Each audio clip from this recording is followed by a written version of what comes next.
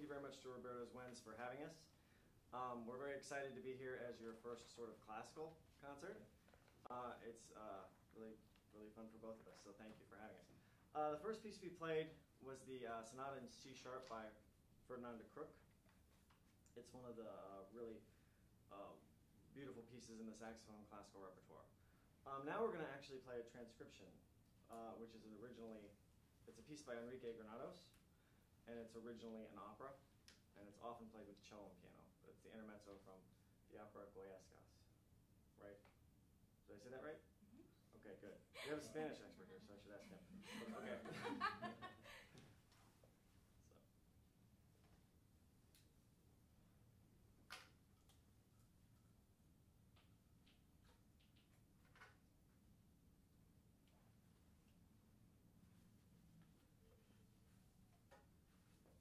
So. Wish I could dress like this for most of my gigs. I have to wear usually a jacket and it's caught on my keys. And it's just very, very comfortable. Should have been a jazz player. just for that reason, maybe. you know. It's not too late. Yeah, it is.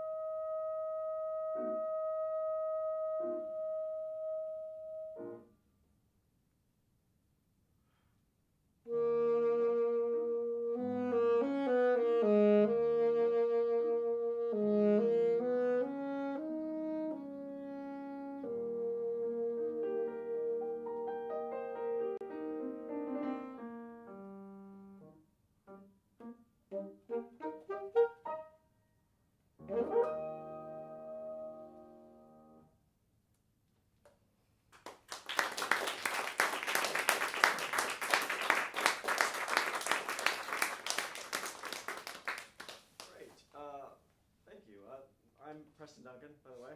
I didn't say that before. This is uh, Ann DuHamel. Hello. Um, we're going to do what now? What's that? Well, it's aria. Okay, great. Uh, this is a very famous piece in the standard saxophone repertoire, which all high schoolers play, but I actually didn't play until last year. So finally got to it. Um, it's uh, based on a Bach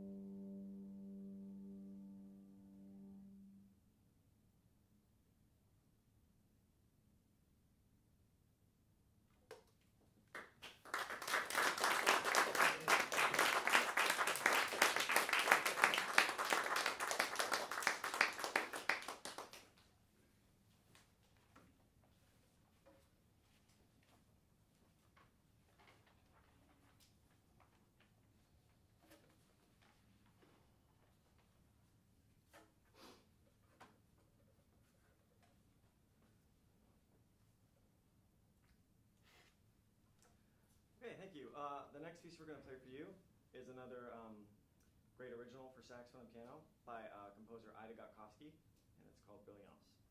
It's four movements long. It's really fast. Sometimes.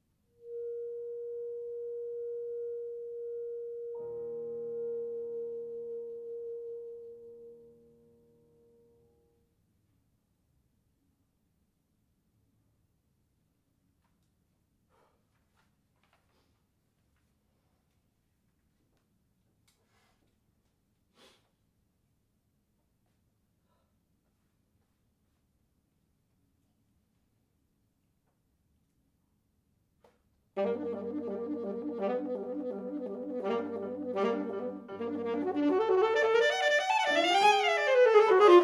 you.